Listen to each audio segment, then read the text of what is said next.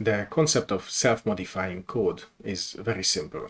It's basically you rewrite your own code as, uh, at runtime. Uh, what makes it possible is, uh, is the so-called von Neumann architecture. So here uh, in this architecture, uh, code and data are treated the same. They are they are stored at the same place. You know, maybe first on disk, then it pulled on into memory, and um, yeah, code and data is the same. So rewriting your own code is is inherent in this in this architecture. Um, the easiest to see is it, it, see this in action is, is in assembly. Um, the simple trick is that uh, take take the address an address in your code and start writing some bytes to it and later jump into that, those parts of the code and that's all there it is. Now, of course, uh, in in uh, practice, this this is a this can be a lot more complicated. Let, let's take a look at uh, an example. So here uh, I have a hello world in assembly. I I talked about these these level of assembly in earlier videos. I, I will give a link link to them. I will not not uh, make I will not go very deep into that explanation. So we have a data section here with a simple string, uh, hello world and a new line. Uh, I store the length with some help uh, with the NASM. I will use the net, netwide assembler to compile this. Then um, I will mark the start as the uh, as a global symbol, so the linker can pick it up later. And uh, here I call two functions. First a print and an exit. I, I, separated them so you can see, you can compare them easily. So this is uh, the simple way how you can call system calls on Linux. Uh, uh, the, these numbers, the first number that, that we put into this register are the system calls number. These are different for 32-bit Linux and 64-bit Linux. So this is for 64-bit Linux. One is the write system call. Then the, uh, here are the parameters to those system calls. It's uh, similar to how you would call a function, but not, not exactly the same. I wrote, uh, I talked about this in, in earlier videos. So the first one is that we send the one, which is um, which is a file. It expects a file descriptor, so an integer, and one is the standard out. Then we send the address of the of this string, which I refer as hello. Then uh, we have to pass in the length length of it, which I calculated here. Then we call the system call and uh, we return from this function, from the print function. Then we, uh, it calls exit, which is similar. Uh, the RAX register will get the 60, which is the exit system calls number. And uh, here is the, the return value of the, of the whole program. And zero is the exit success. We call it and returns. We will actually never reach this because at, at this moment uh, our our process will will exit but it, this is this feels nicer. Um, okay let's let's compile it. So we are on 64 bit. What is it called? I think it's called hello. Hello asm okay uh, then we will link it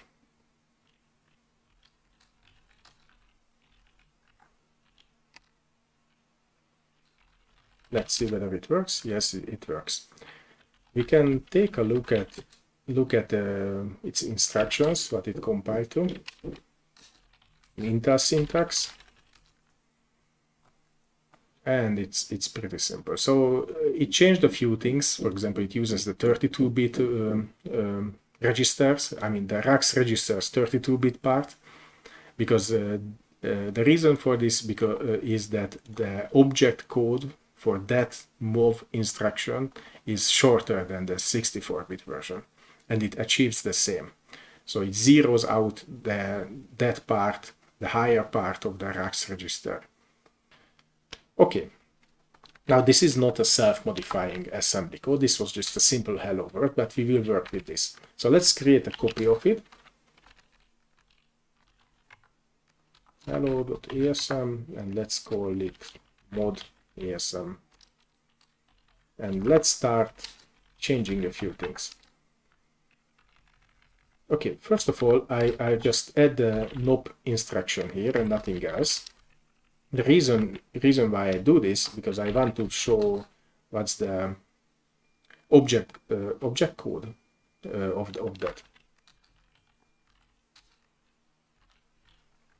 No, mod. Here's um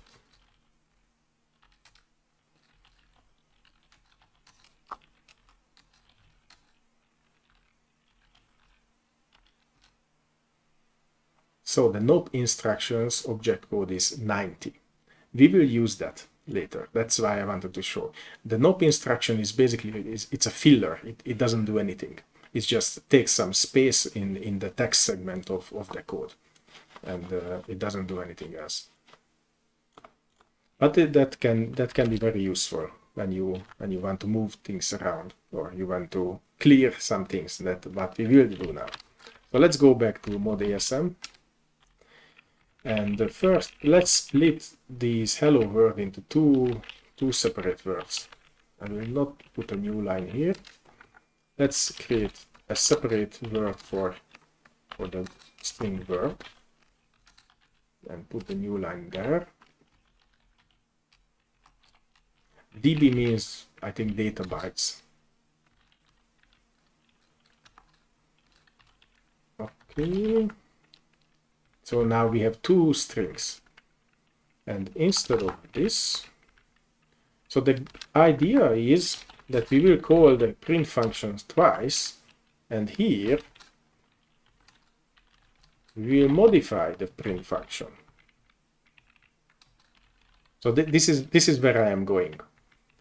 So, so that that's where we will change the code. And um, here we will print hello, here we will print word. So this is the top level. Okay, how, how can we how can we achieve that?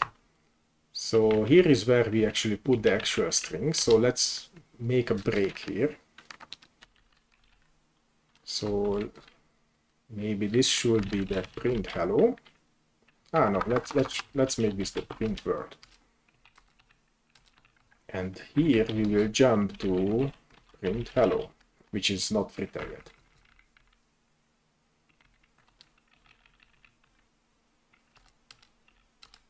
Okay, this is print hello. And this looks okay. So when we call print, we will move, there is nothing here yet. So we will we will uh, set up set up the system calls. Uh, set up the system call. First, the write uh, system call for, to the RAX register, the file descriptor one. So we are printing to the std out, and uh, and then we jump here, and then we set up the remaining two two uh, um, registers to print out the hello. Then syscall, then return. So this this this still works. It will print out hello. Now here, which is currently unreachable code, we will print out uh, the world.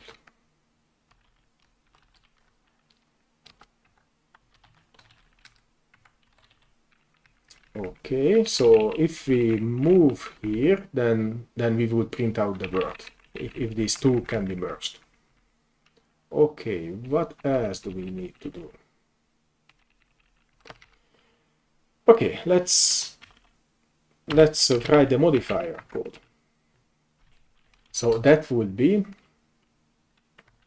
uh, we will overwrite this jump instruction uh, I will show the object code of the uh, of the jump instruction after after I've wrote this down. Uh, but basically, that's that's how would would look uh, work through it. You will first compile compile it, uh, and then then we look at the instruction you want to overwrite because you want to know the size of it, and may uh, um, definitely you need to know the size of it, you know to know how many bytes you have to write there. it this this actually turns out to be two bytes long. So I will overwrite the print. This is the address of the print word. So print word minus one. And I will write there uh, the NOP instruction, which was 19 hexadecimal. I will write this down later. Move white print word minus 2. So with these two instructions, I wrote two NOP instructions into this into this address space.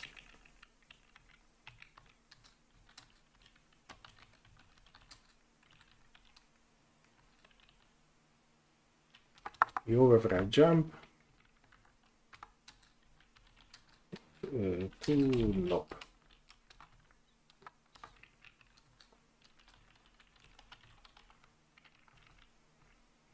Okay. So let's let's uh, go through how it should how it should work. So the start will be the the entry point of this binary. It will jump. It will call the function print, which will move here. It will set up set up the system call uh, halfway, then jumps to print hello. The print hello will put the the hello string there to the right place calls the syscall, so it should print out hello, then returns. Then we will overwrite the print word minus 1 and minus 2 bytes with nops, which, is, which was this one, and call print again. We go here, this will be two nops and then we will move here, and we'll write out the word with this system call and return here. Then we will call exit, it looks okay. So let's compile it and hope for the best.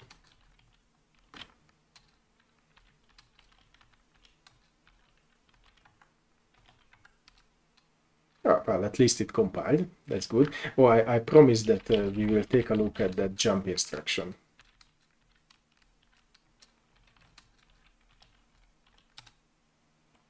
So where is it? Yeah. Here is the jump instruction. Here the, um, uh, of course, this is not linked, so so we, the addresses are not correct. But uh, what we see here is that uh, uh, this is two bytes long. So the two nops should do its trick. And then let's link it now.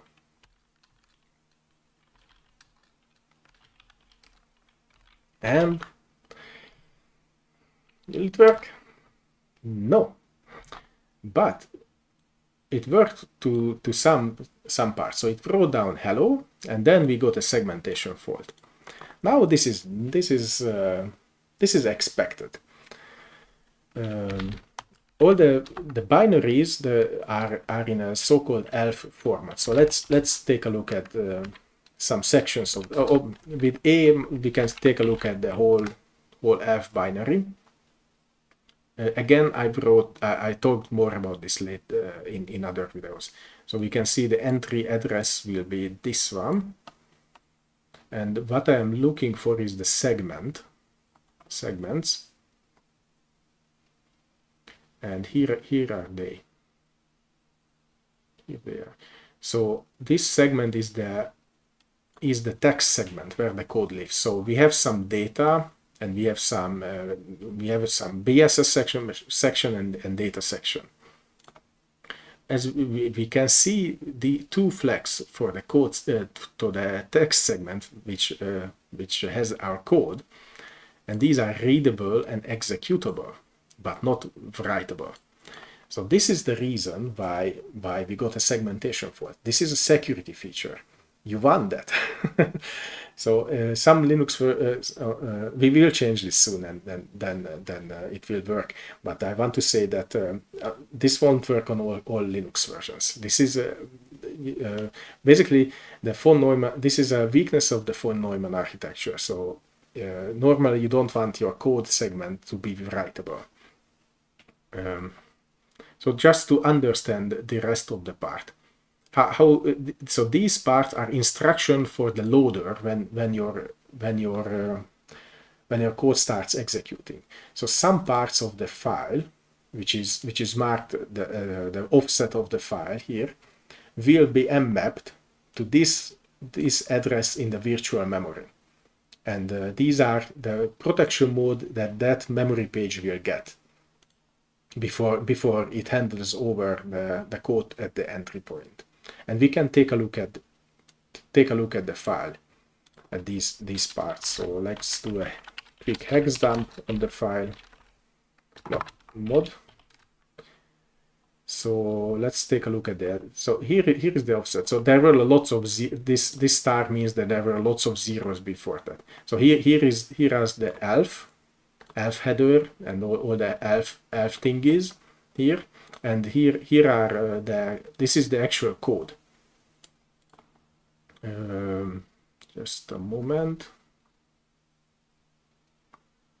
So the code code is actually pretty pretty uh, pretty small, but it starts at the file offset one, uh, 1000 and goes to 2000. So the rest is zero. And this this part of the file will be memory mapped uh, to the virtual memory at the 4, 1, 401 1000 I think uh, address. I forgot forgot the exact number. And this this memory page will be readable and executable but not writable. And this part will be readable and writable. This is where, where we have uh, the hello world. Yeah, here is the new line. Here is a space. Okay. So how can we change that, that flag?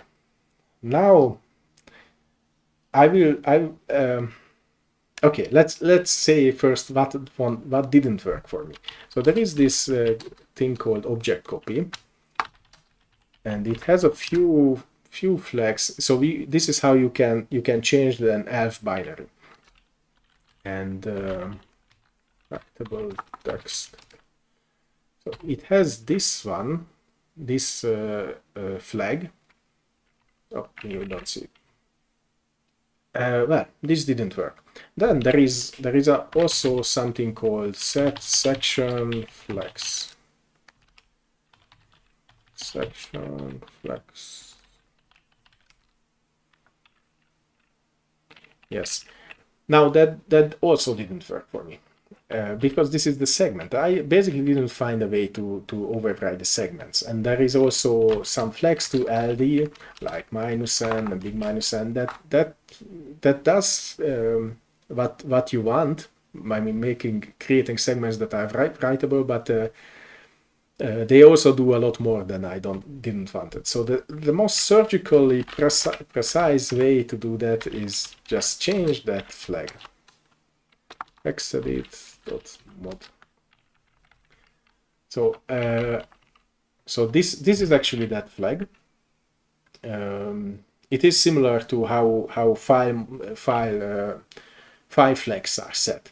So uh, you, you set different bits. So the five means that it's readable, executable.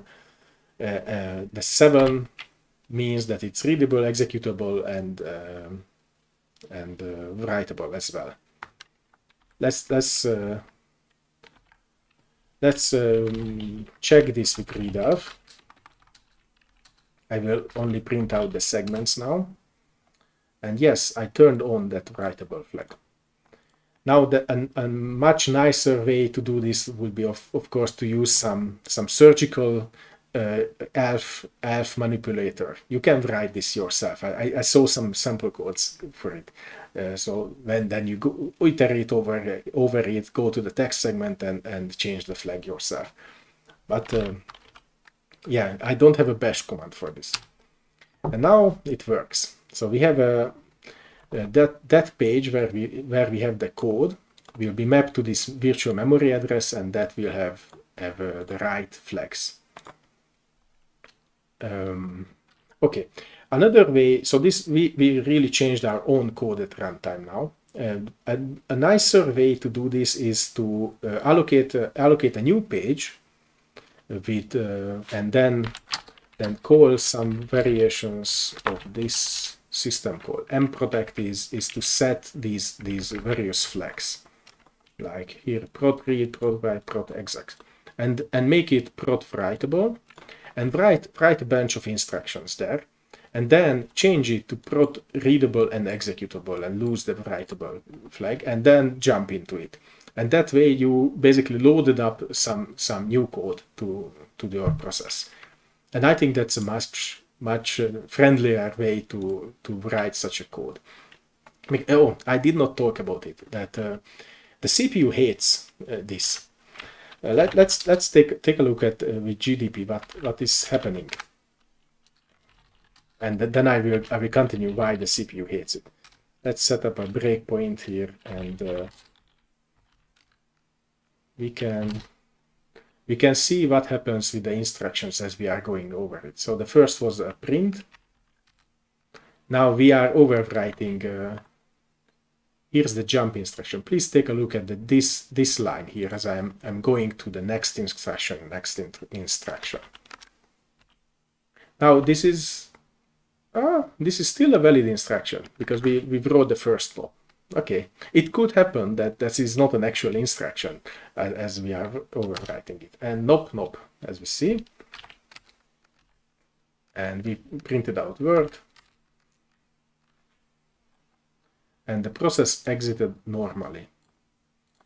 So this this is actually a, a, successful run, even even in GDB. But yeah, this is scrambled now because I, we don't have access to it anymore. So what I wanted to uh, show is that uh, we are killing pipelining in the CPU. Yep.